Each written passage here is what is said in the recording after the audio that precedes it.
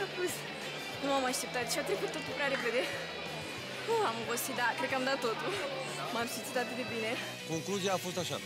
A fost bine, bine, bine, bine, dar n-a fost de ajuns de bine. Așa, n-a fost de ajuns. Cântă bine, overall. Adică n-am ce să-i reproșez. Are o voce bună, e stabilă. Dar vezi acum, fiind cu fața, fiind pe scenă, fiind cu public, fiind la concertul lor, bă, știi cum e? Trece rampa sau nu trece rampa? Am cunoscut mulți artiști care fac muzica despre ei, care fac concertele despre ei. Concertele sunt despre oamenii pentru care cânti. Pentru asta trebuie să te dăruiești lor. Și când înveți să faci asta, totul se deschide.